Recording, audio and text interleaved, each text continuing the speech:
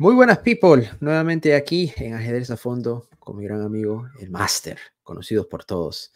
Master, has tenido una jornada bastante intensa, bastante extenuante, muchos torneos. ¿Cómo te sientes? ¿Cómo, cómo, cómo te estás agobiado? ¿Estás cansado? ¿Necesitas vitaminas? ¿Necesitas descansar?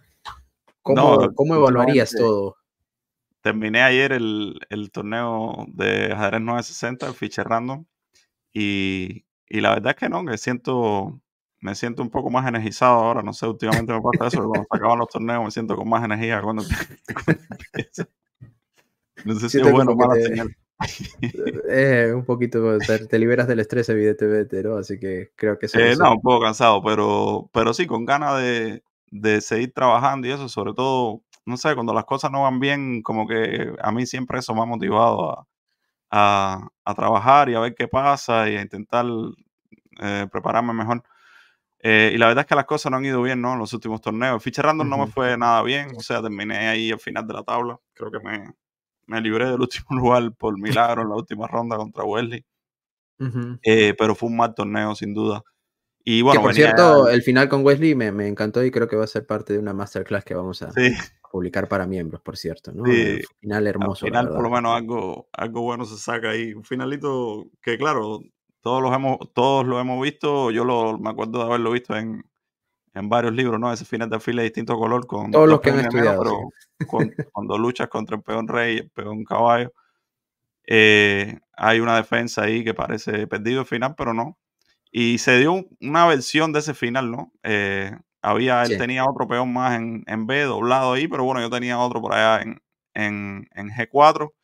Y yo no estaba seguro si al final me salvaba o no, pero las ideas eran las mismas y, era evidente que, que, jugar así. Que habían sus chances, ¿no? Eh, y al final, sí, no he analizado 100%, pero parece que estable al final, increíblemente, a partir de un momento, ¿no? Y la verdad que es instructivo, así que lo, lo vamos a usar ahí para, para una de, de las clases en, en, el canal, para Correcto. los que interesados en finales. Pero... finales y, que vamos a ir añadiendo un poco más de videos que hemos estado un poquito alejados de, las masterclass por, no, por temas de agenda en realidad, ¿no? Así que agradecemos a los miembros y también les pedimos una disculpa porque sé que el contenido que de las masterclass han estado un poquito pausadas, por así decirlo, pero ya volvemos y volvemos con fuerza. Y el máster está, como siempre, dispuesto a aportar todo el conocimiento que ha ido adquiriendo a lo largo de los años. Así que Oportunidad única en la cual yo aprendo también, ¿eh? por cierto. Ese final de Alfiles no me lo, no lo tenía muy bien en mi, en mi, en mi memoria. Eh, lo, creo que lo vi de refilón hace muchos años, pero y no creo que en el de que me parece que en alguno de Averbatch o algo, alguno diferente. Pero sí, es un final para mí eh, muy, muy bonito y, me, gustó mucho, así que creo que ustedes van a disfrutarlo aún más. Eh, de las cosas que vamos a hablar el día de hoy, Master, bueno, tu participación en el Fisher Random, tu enfrentamiento contra nada más, nada menos siempre conocido Gary Kasparov, de lo cual nos vas a contar un poco tu experiencia, cómo haces para mantener la motivación después de, haberlo logrado casi todo en realidad, ¿no? O sea, porque también has sido campeón mundial Blitz en su momento, has estado en la élite o estás en la élite ya por muchos años, cómo haces para mantener la motivación, cómo te preparas, qué, qué piensas hacer en los próximos, en los próximos meses eh, de preparación para el Campeonato Mundial Blitz y Rápidas, que es uno de los temas de los cuales vamos a estar tocando también. Y no menos importante, para ir finalizando, por así decirlo, el tema de eh, el excelente nivel que está demostrando Caruana y también el match que se viene ya pronto entre y Mundial. Así que vamos a, hablar un poquito y tratar de entender un poco qué, qué está aconteciendo. Y pues nada, vamos de una vez directo al grano.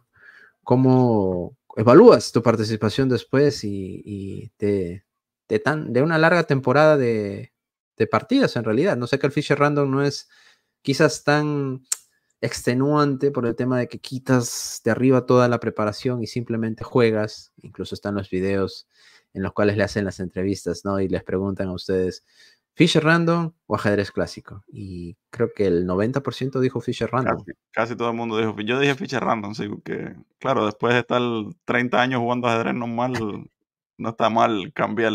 Pero. Un poco de frescura, ¿no?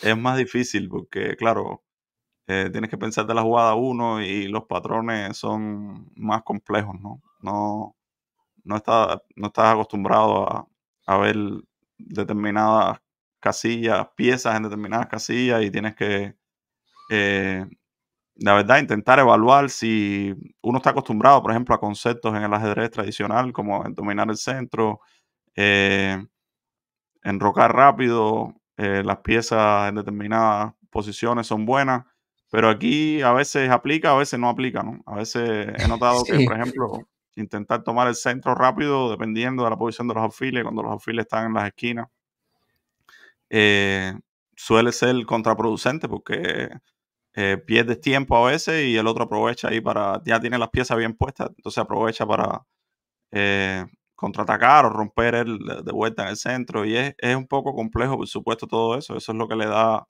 el valor al, al fiche random, ¿no? Que lo hace interesante porque ni siquiera los mejores jugadores del mundo eh, pueden saber eh, rápido qué está pasando.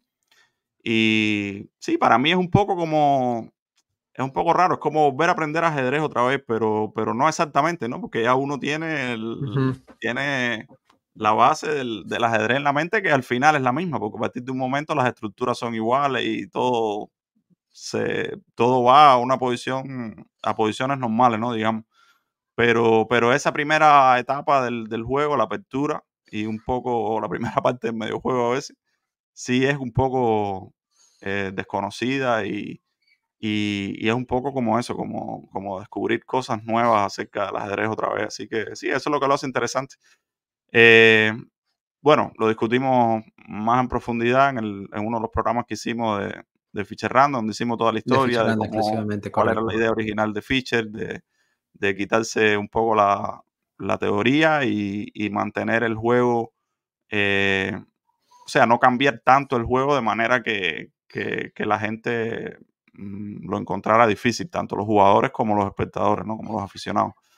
Eh, esa era la idea básica de Fischer y, y, bueno, en ese programa tocamos un poco más el, tema, así que que quiera, pero bueno, hoy vamos a estar hablando un poco también, aunque más enfocado, más enfocado en mi torneo, ¿no? Yo la verdad es que, como te decía antes, venía de, de una racha de tres torneos seguidos. Final jugué la Olimpiada, el Campeonato Nacional, que eran dos torneos largos. Eh, tomó bastante energía y, justo ahí el, el fiche random que yo lo veía como algo más relax, algo menos serio, pero al final cuando estás jugando eh, todos queremos todos queremos ganarle sí. Eso es verdad, eso le ponemos todo. Creo que, cualquier jugador que está en la élite eh, no le gusta perder ni siquiera en, en Random, pues, ni, en Bot House, ni nada de eso, ¿no? Eh, se despierta ese espíritu competitivo que siempre uno tiene y que para llegar ahí tienes que tenerlo, no es obligatorio. Si no lo tienes, no llegas. Entonces, bueno, el torneo tenía varios, tomó mucha energía por eso también, ¿no? Porque al final te lo tomas en serio y le pones todo y, y eso toma energía. Uh, jugué, tenía el atractivo eh, adicional y bueno, ya eh, tradicional en este torneo que juega Casparo, es el único torneo creo que juega en el año. Y bueno, siempre, siempre es interesante para incluso para nosotros ver a, a, un tipo como, como Gary, ¿no? Jugando a gente que crecimos con admirándolo como mejor jugador del mundo, uno de los mejores de la historia, etcétera es eh, muy. Y todo, el mito ese de, esa experiencia, tipo ¿no? jugaba, de que si la energía, de la, la, actitud de él en el tablero y eso, que todavía conserva un poco, ¿no? Eh, creo que tuve la mala suerte de jugar con él al principio del torneo. Es mucho mejor jugar con él al final del torneo. Sí, creo, creo, creo que es mejor siempre agarrar al viejito ya por la, el tercer día. Al principio, al principio es cuando mejor está. Se, mostró intratable, sí. Tiene más energía, entonces no, no tiene. Eh, no tiene, digamos, la decepción de haber, de haber hecho un buen torneo. colgado, sí. Que se, se deprime un poco. Eh, por mucho que él también se lo tome, tú sabes. Eh, Bastante relajado, ¿no? relajado, pero, sí, siendo él quien es, eh, nunca le va a gustar, nunca le va a gustar que le ganen partidas. Y claro, cuando le han ganado varias ya, recuerdo que el año pasado jugué con él en la última ronda. Y yo estaba teniendo un pésimo torneo parecido este año. Y, pero él también. Y entonces en la última logré, logré golpearlo con negra. pero en esta me tocó en la primera. Yo de blanca, entonces. En el fiche random no importa muy, sí importa un poco. O sea, blanca siempre es blanca, tienes, un, tienes una jugada adelante, por supuesto. Pero, no se percibe tanto, ¿no? Menos Porque, ventaja, claro, no. Hay menos ventaja que, en, que, en, el ajedrez tradicional, ¿no? O sea, pues. Pues no tienes un camino claro cual seguir, ¿no? Relativamente fácil, sí. Todo lo vas descubriendo sobre la marcha, es más eh, intuitivo de cierta manera también, ¿no? Exacto. Y el tiempo para prepararse es muy poco, ¿no? O sea, dan 15 minutos, pero apenas, apenas da para, para mirar un par de ideas que ni siquiera sabes si son correctas. Entonces, es básicamente pensar de la jugada uno. Y la verdad es que me ganó bien, me ganó bastante bien. Eh, mm, él tiene, tiene, o sea, se ve ahí también la clase y el talento, ¿no? Tiene la intuición de, de, de saber dónde van las piezas, de reconocer rápido patrones que no son tan convencionales, porque eso es lo que tiene ese juego, ¿no? Que muchas veces en el ajedrez tradicional es más fácil, incluso para jugadores que no son de la superélite, saber, no, no, no, esto es bueno, esto es malo, no, no, esto aquí es ventaja blanca, esto no. Eh, pero en este, en este feature random es más complicado eso y, eh, claro, los mejores jugadores saben distinguir eso antes que los demás. Y eso se ve en él, él enseguida eh, distingue no, aquí el alfil está bien en H8, el alfil en G8, aquí que los peones se ponen así, o este tipo de posición es buena.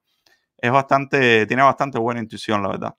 Y... Aparte, ¿no te da la impresión de que, bueno, yo creo que de todos los que estaban sentados ahí, me parece que probablemente eh, Carrie es uno de los que más, más, tiempo, más energía y probablemente más dedicación le dio al, ajedrez, ¿no? O sea, cuesta decirlo, ¿no? Pero creo que es el el caso más típico, ¿no? Gary desde muy pequeño, desde edades muy tempranas, y supongo que lo que trabajó fue una barbaridad, ¿no? Para llegar a ser quien es y todo eso, más allá de su talento, pero es que tiene muchas horas encima ese, ese hombre, ¿no?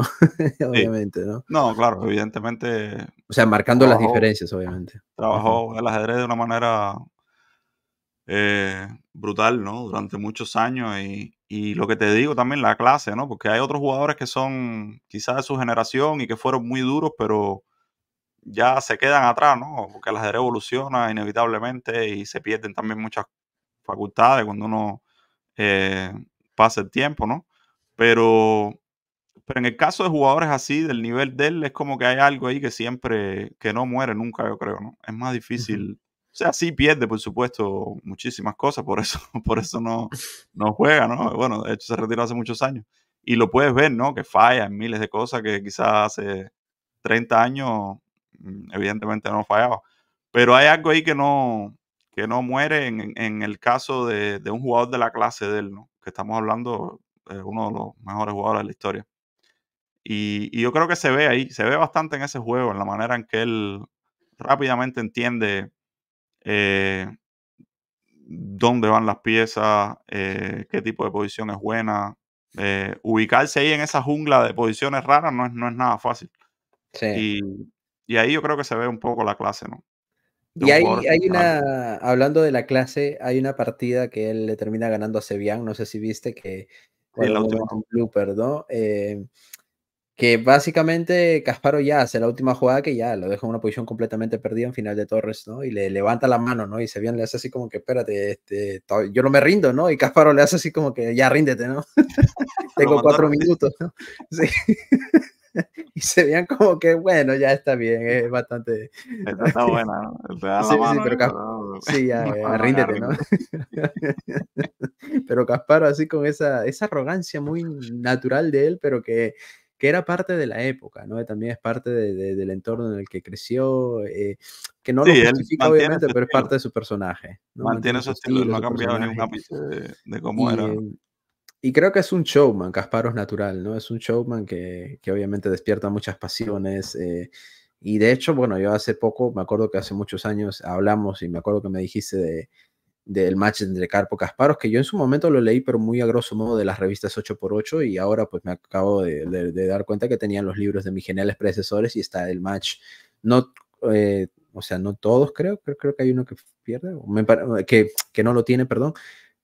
Pero bueno, el caso es que los agregué de nuevo a mi chess y los voy a comenzar a, los voy a comenzar a leer y analizar de verdad, ¿no? Porque creo que en ese match Karpo-Kasparov no hay ningún match parecido en el ajedrez que, que, haya aportado tanto, ¿no? O sea, de dos estilos tan, tan diferentes, dos formas de ver el ajedrez tan diferentes y sin embargo cada uno con una característica que los hizo muy grandes, ¿no? Y que creo yo que sin demeritar a, a, Gary, pero no habría un Kasparov sin un Karpov, ¿no? Y eso... Claro.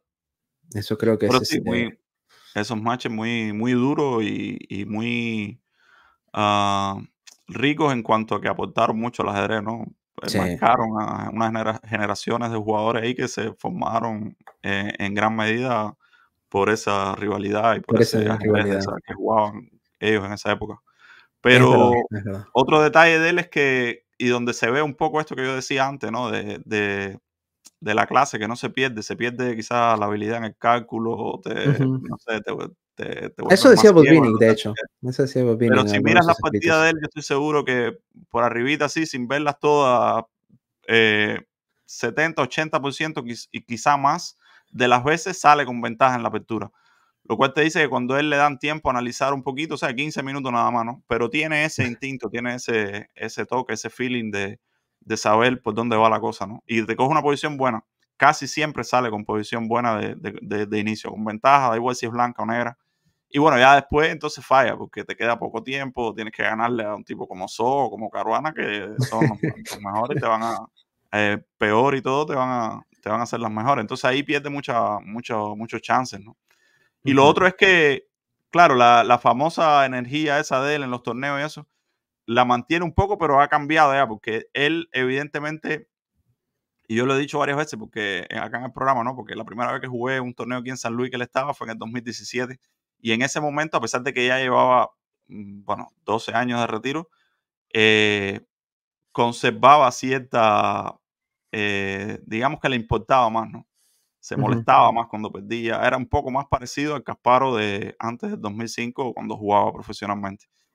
Eh, pero eso lo ha ido perdiendo, él mismo se ha dado cuenta de que no tiene sentido ponerse demasiado bravo cuando pierden y como que se ha adaptado a la idea de que le van a meter varias, ¿no? Incluso si está bien o lo que sea. Entonces ahora es una mezcla rara de al principio mantiene esa, que es como una fiera, ¿no? El tipo ahí con toda la energía. Pero ya después lo ablandan, ¿no? Pero después él mismo sabe que al final la va, la va a embarrar y se, relaja un poco, ¿no?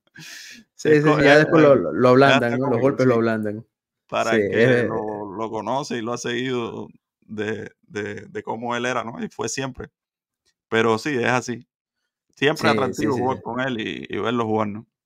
Eh, y, es que es, él ha dejado todo un legado, toda una escuela, una enseñanza. Sus partidas mismas son parte de, pues, una herencia invaluable, ¿no? Y sus matches con Carpos, pues ni qué decir, obviamente, ¿no? Eh, Gary es uno de los mejores de la historia, indudablemente. Eh, más allá de que la FIDE considerara a Magnus ahora como el mejor, bueno, bueno, eso siempre es debatible, ¿no? Magnus también está en esa, en esa esfera, obviamente, pero es claro que, que pues Gary es una leyenda y jugar contra él es, es, impresionante y la verdad, jugar contra él en las primeras rondas también tampoco creo que es nada divertido, como tú mencionaste. Sí. No, ganó bien en un momento.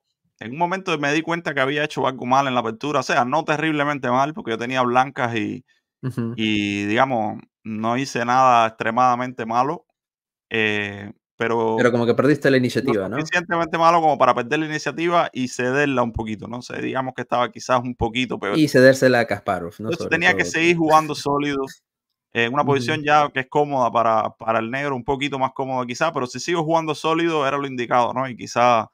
Eh, eh, quizás tabla, ¿no? Aspirar a tablas porque no, no, tampoco era tan grave, pero Intenté entonces presionarlo un poco, abrir el juego, hice un E4 en un momento que justo cae más o menos en el tipo de juego que él, que le gusta, ¿no? Porque se abre el juego él tiene las piezas bien puestas ya en ese momento y se da una táctica ahí. En un momento pensé que iba a fallar en la táctica, pero la posición era, era, era demasiado desfavorable para mí no, no, tuve, no tuve chance de, de complicarlo de ninguna manera. La verdad que me ganó bastante bien. Claro, no, es que Gary, bueno, eh, yo creo que en las posiciones complicadas siempre fue su fuerte, obviamente, pero ya los años le pesan, obviamente, ¿no? Y, yo creo que mantiene, mantiene bastante, mantiene una agudeza en el cálculo y eso bastante decente. Él dice que no se prepara para estos torneos, ni para ninguno, ni para nada, ¿no? Es verdad que no juega nada. Pero, yo creo que hace algo de cálculo. A mí me cuesta creer que no haga nada para un, digamos, si va a jugar ficha random, él conociéndolo, eh, me da la impresión de que siempre va a hacer algo, ¿no? Va a intentar ahí resolver un poco de, sí, quizás no mínimo para intentar mejorar el cálculo y lo, veía bastante decente en ese sentido. Para, para tener más de 60 años, si miras a otros jugadores que tienen más de 60 años, eh, probablemente se le hace mucho más difícil calcular tres jugadas. Sí, sí, sí, a no ser que fuera Víctor Korsky, ¿no? Que, decente todavía en ese sentido. Que fue Por lo menos historia. Sí, sí, no, no, yo lo vi bastante bien y Gary es un ejemplo es que es impresionante, la verdad, no, no hay palabras para describir a, a Kasparov en el tema ajedrecístico.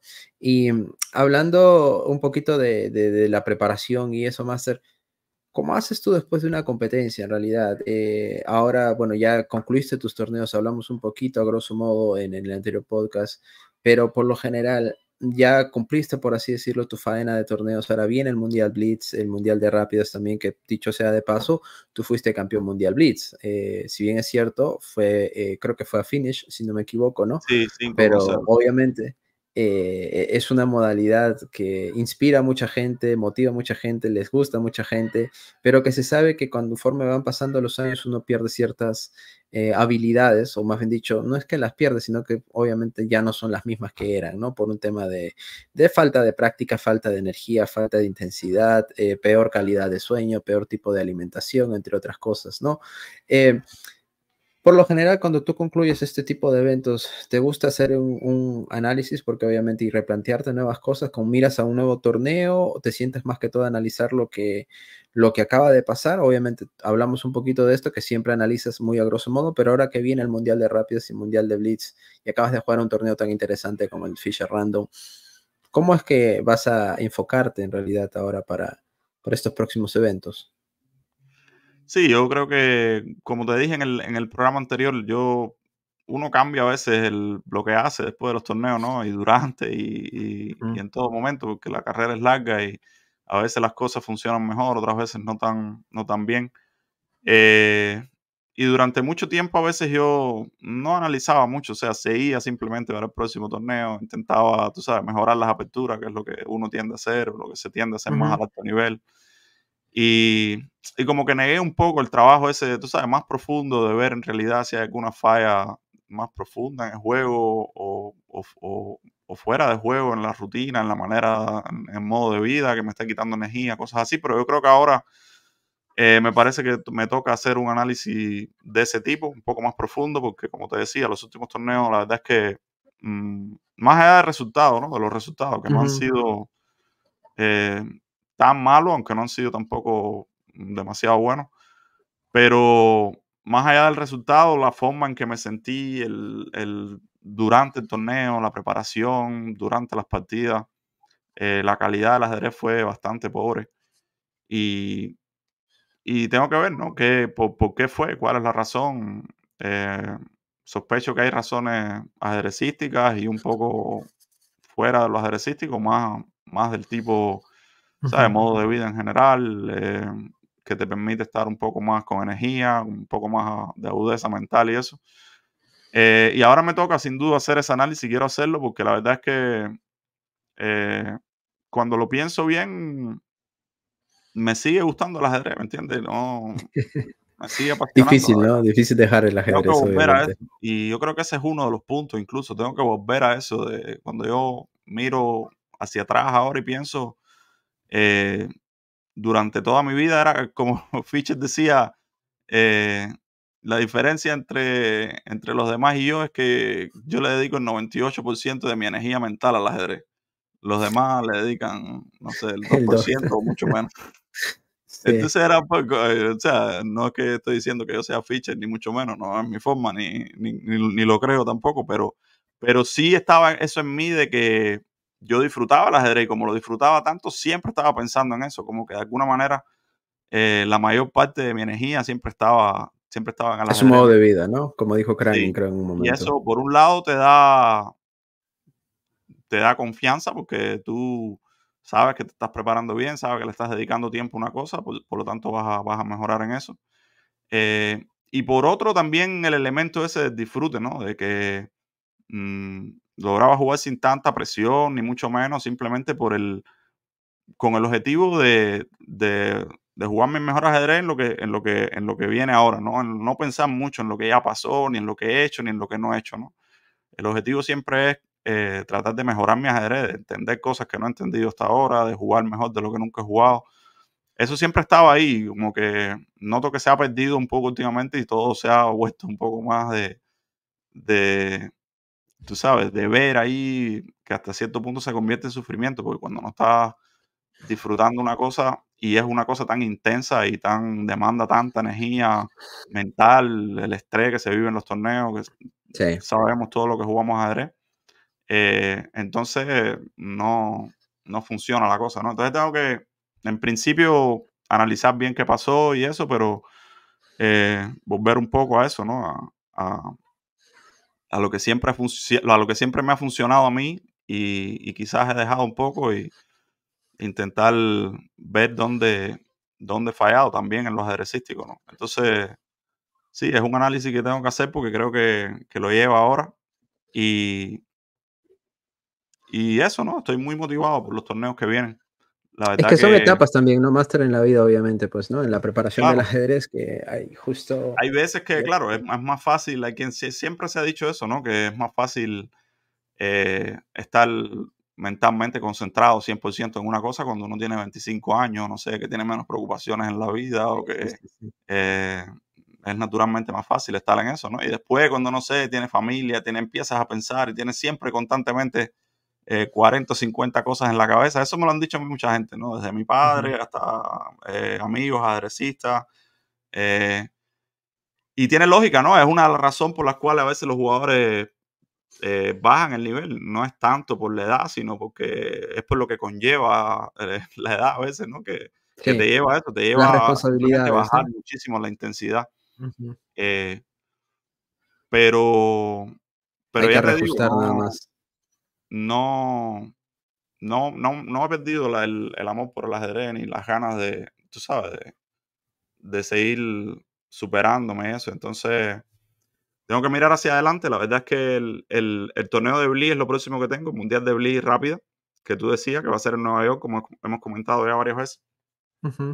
Pero tengo que enfocar la preparación de modo general, ¿no? Ver qué está fallando, prepararme duro. Eh, aprovechar el tiempo que tengo ahora de, sin torneos para, para solucionar las cosas que no, que no han estado funcionando.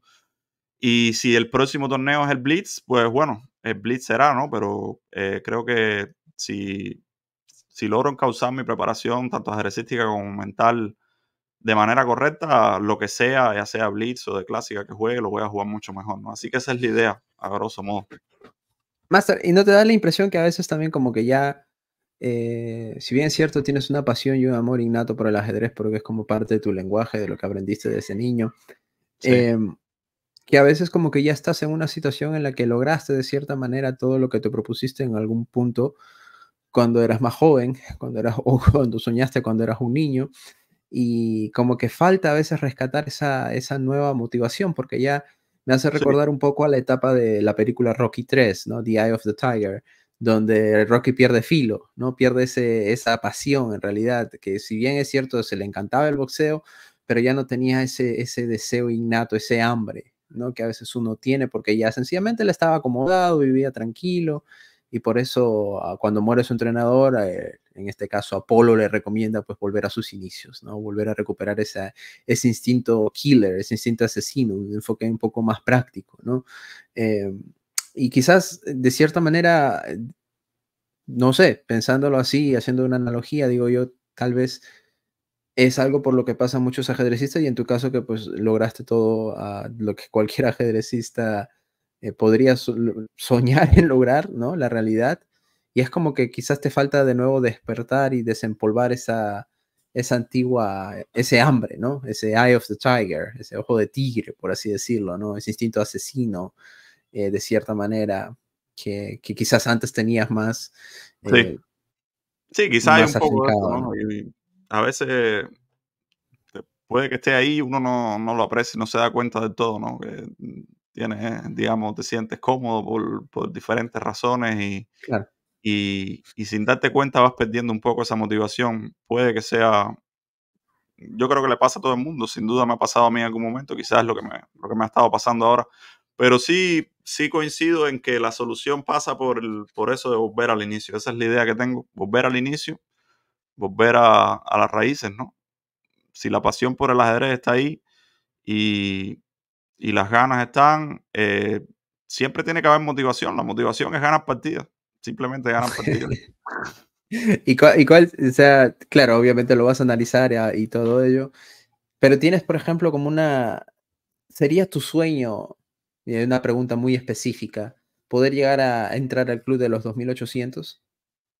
Ya antes de, Ah, porque en algún bueno, punto, por ejemplo, podrías pensar ya en como de... Sí, no, obviamente, ¿no? Pero decir, mira, a ver, si yo llego a 2800 ya me retiro, por así decirlo, ¿no? Ya, ya, ya, ya, ya cuelgo los guantes y digo, ya, ya está bien aquí. Aunque bueno, uno siempre dice eso y luego sigue jugando, ¿no? Pero, Siempre pero digo, encontrar algo, alguna motivación, ¿no? extra después de... No he siempre, llegado siempre, al siempre. nivel de cárcel ni de Casparo, ¿no? Que me imagino que están más cerca de eso, de decir, bueno, ¿y ahora qué más, no? 2900 Ujú. o, o no sé, estar otros 10 años. Pero cada cual a su nivel puede llegar a acomodarse, ¿no? Y decir, no, ya, sí, no quiero más o lo que sea. Ah, yo me he dado cuenta en los últimos años que, aunque quizás no siempre lo he puesto en práctica, que lo mejor es enfocarse en el futuro, enfocarse no tanto en la historia, no dormirte en los laureles y eso, sino, como decía Casparo, ¿no? En, en los libros de, de los predecesores, que los campeones mundiales siempre pierden el título porque eh, llegan a, esa, a ese estado mental donde se contentan, ¿no? Dicen, ya, ya, ya. eh, Llegué. y ellos decía, él decía, se fosilizan, ¿no? Es como que te, te, te Ujú. añejas ahí, dejas de progresar, dejas de, de querer aprender y eh, eso le pasa a todo el mundo quizás a cierto nivel, pero, pero yo sí siempre lo he tenido claro que pensando un poco en ese tema, que, que la clave está en pensar en el futuro, ¿no? Después ya entonces que sí te retires de verdad, por lo que sea, porque por la edad o porque, porque ya decidiste que, que tienes que terminar, por, porque estás cansado, por lo que sea. Entonces ya puedes mirar un poco si quieres lo que hiciste y eso, pero mientras estés jugando, tienes que, que concentrarse en la próxima partida, mirar un poco a los jóvenes, a los que están ahora, us- usar eso como, como reto, ¿no? A ver si puedes mantenerte a ese nivel, aprender de ellos, que siempre aportan algo nuevo. Sí. Por ejemplo, mirar las partidas de los Erigasi, de los Adusatoro, de los Cayman, ¿no? Eh, Bukesh mismo. Y ver qué tienen ellos que, que le está funcionando, intentar E- Eso que, que dices, por ejemplo, me, me- me llama mucho la atención y haciendo una analogía con una vez una frase que leí de, una entrevista que leí de Bronson, ¿no? Él decía, Bronson era mucho mayor que, que, que Fischer, obviamente, ¿no? Y él dijo, Fischer a veces no se da cuenta, pero eh, eh, nosotros aprendemos, o al menos yo he aprendido mucho a jugar finales gracias a Fischer, ¿no? De sus partidas, a pesar que Fischer era mucho mayor, ¿no? Eh, Sí, perdón, que de Bronson era Bronson. mucho mayor. Ah. Entonces, Sí, y, y eso es interesante, ¿no? Porque incluso de generaciones más nuevas, eh, siempre hay algo que aprender, ¿no? Y eso creo que es, que es lo mágico del ajedrez, que es pensar que te lo sabes todo, pues no despierta, ¿no? Ni siquiera un módulo que te diga más uno, más dos, bueno, eso no, no significa nada en realidad, ¿no? Eso es simplemente una valoración, pero la partida hay que jugarla. Y, y eso es muy interesante, eh, analizar la, los performances de los jugadores, por ejemplo, eh, Caruana ahora ha tenido una espectacular temporada, ¿no? Una espectacular Sí. temporada. Y Fabi creo que lo ha hecho muy bien. El poco talentoso Fabiano Caruana. eh, palabras mías, no, sino de, de Dubov, ¿no? Que dice, bueno, si Fabi llegó, pues ¿por qué yo no? ¿no? Entonces, bueno, pero es que Fabi, Fabi lleva unos cuantos años ahí de Algo número 2 tiene, algo mundo. tiene que, algo que- tiene, creo, ¿no? Y no poco talento creo que no es. Algo, algo tiene, No, algo, tipo, algo hace que le funcione bien. Ganó seguido Para en tener poco talento, creo que lo hace muy bien, ¿no? Para tener poco talento no está mal. No está mal, impresionante. No, Fabi, es que el talento es muy difícil de medir, ¿no? Es muy difícil de medir. Es, eh, talento en base a qué, cuál es tu parámetro, que calcula muy bien, que siente bien la posición, eh, no sé. O sea, es verdad que Magnus tiene algo diferente, pero él también ha trabajado como una bestia, Magnus, ¿no? O sea, y es claro. Eh, y que Sí. todos en las élite han trabajado, ¿no? No se puede romantizar y decir, no, el tipo es más talentoso porque lo hace sin trabajar. Y por eso hay que aplaudirlo, ¿no? El deber del talentoso es más bien trabajar, eh, sino para Sí, que Dios te dio el tema- talento. Bueno, también lo tocamos hace como Sí. dos o tres programas con- cuando Duboff eh, estuvo en el, no me acuerdo qué podcast fue, en- que hizo las declaraciones. Sí, con Reader de o bueno, algún otro podcast, sí. Hablamos ahí del tema de, del talento y eso, yo pensando un poco en lo que, en lo que dijo Cranny en el, en el programa con nosotros, de que el talento era como que la facilidad esa para procesar la, la información, ¿no?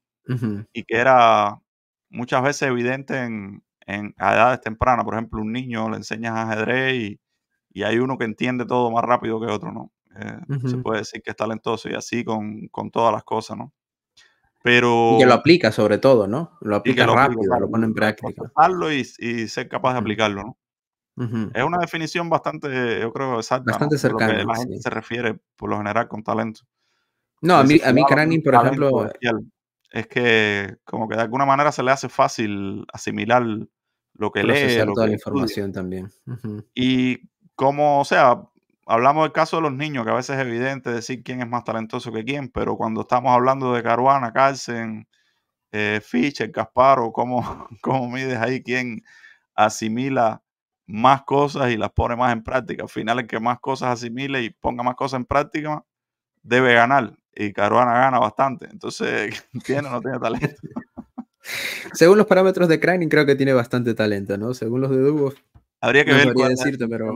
Yo no sé si en época, porque bueno, claro, se, uno se queda con el, con el headline, pero, pero habría que ver si, si ahondó en el tema de qué cosas es talento, ¿no? O qué se refiere por talento. Sí, habría que. Eh, yo creo que él se refería a cosas únicas que otra gente no puede hacer, pero bueno, eso es un poco más romántico, ¿no? Yo soy más de la teoría de, de, de, Crane, en realidad, la habilidad de procesar la información que, que, bueno, que te llega, ¿no? Eh, aunque claro, en el fútbol podrías decir no, pero que Messi puede hacer algo más rápido que, por ejemplo, no sé, que, otro futbolista, puedes poner el Cristiano, lo que sea, pero bueno, en fin, eh, ambos trabajan, ¿no? Ambos han trabajado. Quizás uno trabaja más que el otro, pero trabajan de todas maneras claro, es muy parejo todo. Si el punto es que, que Carlsen es más talentoso que Caruana, bueno, a lo mejor estamos de acuerdo, pero ya decir que Dubo o que cualquier otro jugador es más talentoso que Caruana, ahí sí tienes que esforzarte duro para probarlo. Sí, sí, sí, sí, ahí sí. ¿Qué es lo que tiene fácil? ¿O qué es lo que hace así tan rápido que no hace el otro? No está claro. Sí, yo, yo de, de, momento quisiera ser igual de talentado que Fabi, ¿no? igual de, poco, de poca, poca gracia divina que Dios le dio a Fabi, eh, me gustaría tener. no, ha tenido bueno, buenas temporadas los últimos, los últimos años, la verdad. Eh, mm. Se ha quedado corto en el torneo de candidato, que al final es el torneo que él quiere ganar, obviamente, que todos fallando, ganar, para tener un, un chance ahí al título, ¿no? Pero pero yo creo que todavía tiene tiempo, o sea, tiene 30 y 32 años, tiene Carona. 32, sí, es un año menos que yo, sí, sí. Tiene muchísimo tiempo. Generación. Y en la forma en que está, no me extrañaría que, tenga tres o cuatro chances más de, jugar candidato mínimo. Para el eh, este año va a jugar el, creo que va a jugar dos abiertos ahora a finales de año para. sí, de hecho va a jugar uno que es el, por el, US Masters. De la y asegurar ya un puesto ahí en los candidatos. ¿no? Sí, pero... de hecho, eh, yo voy a jugar el mismo torneo que Fabi, increíble, ¿no? Ojalá me toque con el Fabi. Ah, para comentarlo. El, US Masters. Correcto. sí. sí. sí, el de Charlo. Eh, y después va a haber otro aquí en San Luis, que creo que también lo va a jugar por ahí, escuché. Principio de diciembre, sí. Sí, sí, ahí, ahí, se va a ver un poco, Fabi, bueno, porque hemos tocado también el tema de los, de los abiertos y los jugadores de superélite jugando los abiertos. Si ganan él o si no ganan él, o mucha gente, bueno, eh, una opinión bastante difundida es que, y popular es que no, esa gente no juega en los abiertos porque tienen miedo y si juegan entonces van a perder el elo y no sé qué, ¿no? Y es más difícil. Y está claro que es difícil, pero Fabiano creo que dijo en un podcast que él no recuerda un abierto donde haya perdido de lo que por lo general es gana gana los abiertos.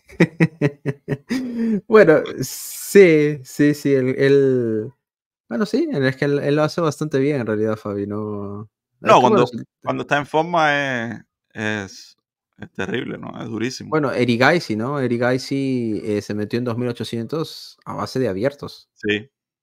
O sea, y se supone que es la parte más difícil y la gente va a decir, no, pero lo ganó en abiertos. Bueno, pero es que si vas a querer encontrar un pero, lo vas a encontrar en cualquier forma. Entonces... No, ese era siempre uno de los argumentos que me parecía lógico a mí. O sea, decir que lo, que los jugadores fuertes no juegan abierto.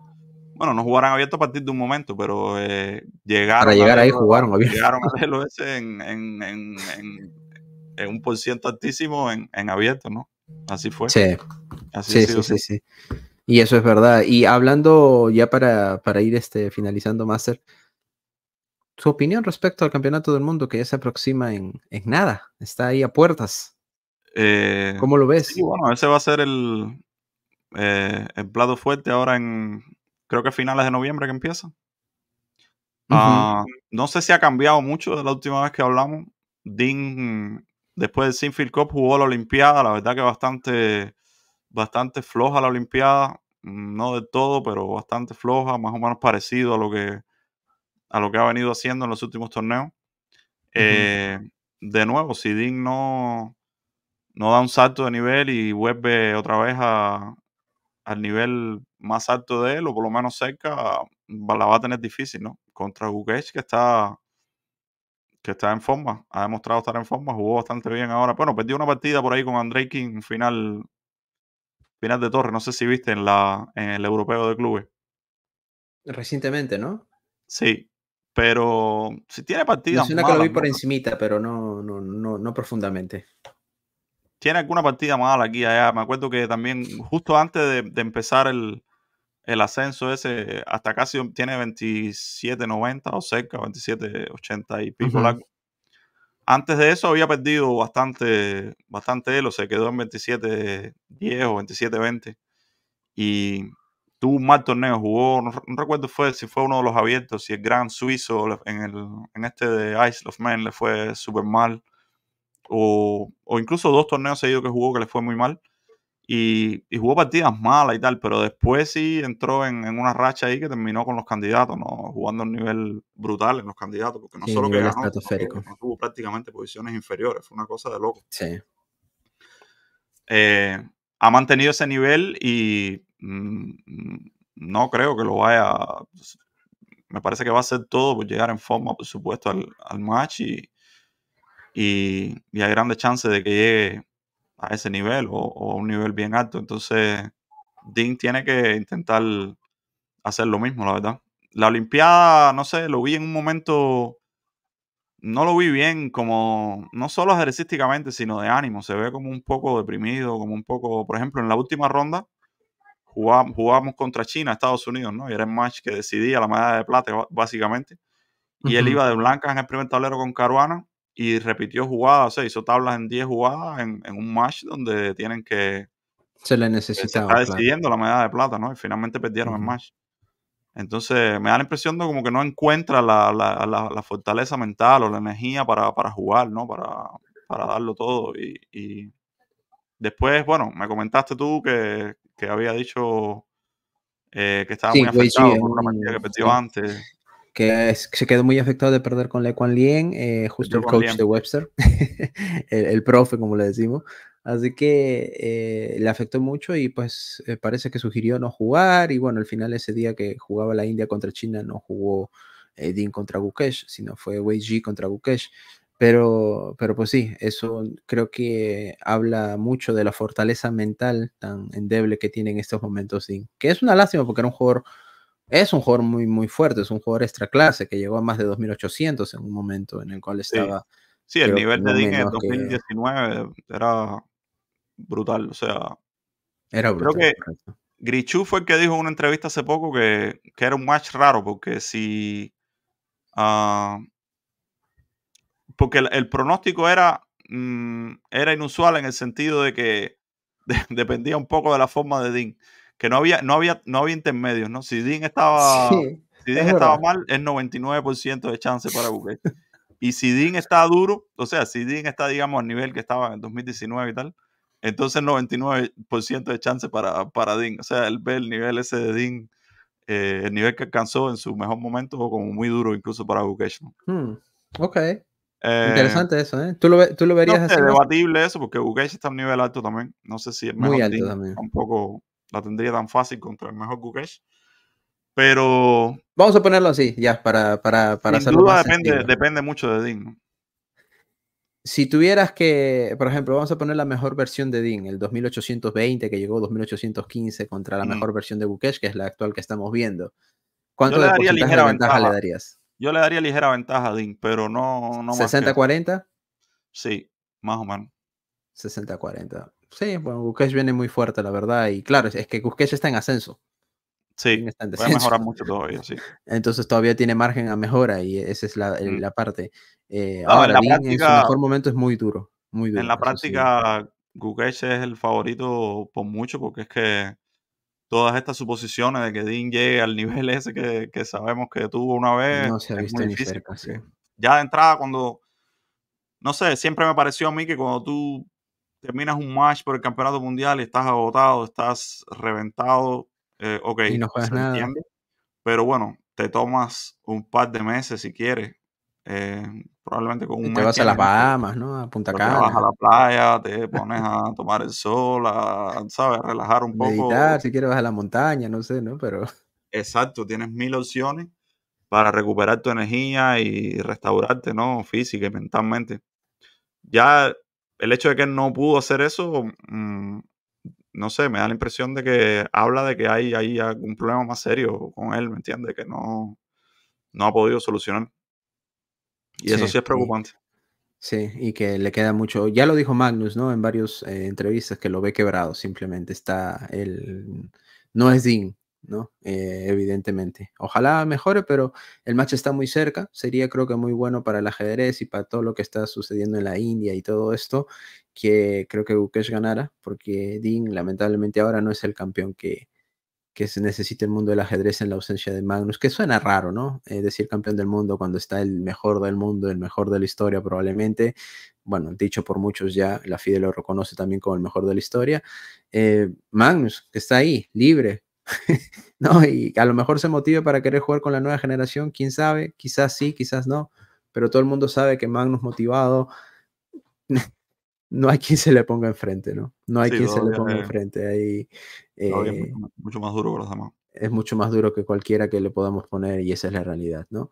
Pero bueno, esperemos que por el bien de Ding y del ajedrez muestre su mejor versión. Ya pronto, pronto va a ser ese, ese tan fructífero match y pues nada, estaremos esperando con ansias y Master, como siempre, todo un placer hablar contigo y muchísimas gracias por los tips y pues ahí vamos, vamos creando un poquito más de, contenido, people. Gracias por su Seguro, y bueno, en cualquier momento empezamos también con a jugar un poco de Blitz, los Titan Tuesday y eso para. Que están, es verdad. Ir calentando para, para Nueva York ir calentando motores, es verdad, y tal vez esté jugando en vivo también, ¿no? Haciendo unos en vivos ahí, eh, jugando a Blitz, que también podría llamar mucho la atención y ver cómo, cómo, cómo es el entrenamiento antes de un Mundial Blitz. Claro, sin demostrar aperturas, obviamente, ustedes sabrán, por cuestiones prácticas, ¿no? Pero bueno, por ahí va el asunto. Pues nada, people, muchísimas gracias, Master, como siempre, un placer, y pues nada, bendiciones. Un placer, saludos a todos. Saludos a todos. Bye bye.